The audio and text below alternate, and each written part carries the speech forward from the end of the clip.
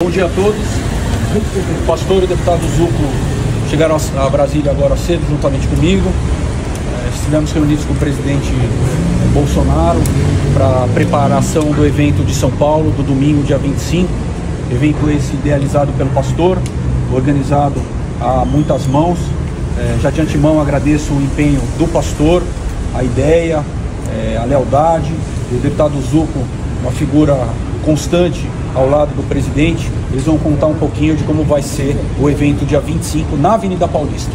Bem, nós acreditamos que todos os nossos eventos são eventos pacíficos e com o mote de que nós estamos defendendo o Estado Democrático de Direito. Isso vale para todo mundo.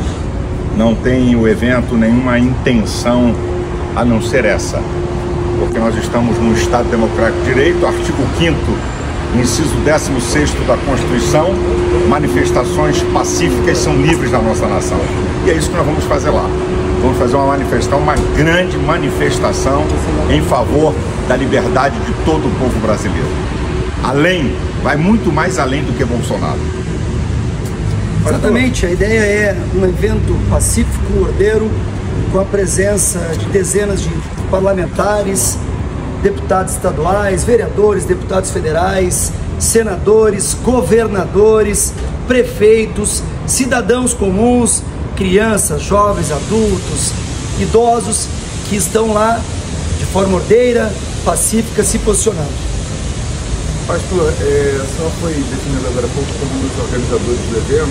Pela manhã circulou uma mensagem, inclusive compartilhada por alguns parlamentares bolsonaristas, que falava que o evento não precisava de doações nesse momento, que tinha uma organização. Gostaria de saber Sim. de onde está vindo o financiamento do evento. É, a entidade que nós somos responsáveis, a entidade que nós somos responsáveis, no nosso estatuto, prevê que essa entidade pode fazer manifestações públicas então, os recursos são exclusivos da Associação Vitória em Cristo. Não tem recurso de político, não tem recurso de caixa 2, ou sei lá de onde quer que seja. Nós estamos amparados legalmente para fazer esse tipo de manifestação. Não tem recurso público. Não tem nem Não público, tem nenhum recurso público, público. De nada. E deixo claro aqui que por determinação do pastor e do presidente Bolsonaro, um único trio elétrico estará presente na Avenida Paulista, na esquina da rua Peixoto Gomide, como nos eventos anteriores. Repito aqui, um único trio elétrico, o trio elétrico demolidor, que a Associação do Pastor é, alugou, é, estará localizado na Avenida Paulista, esquina com a rua Peixoto Gomide. É isso aí. Obrigado. Tá bom? Valeu. Valeu.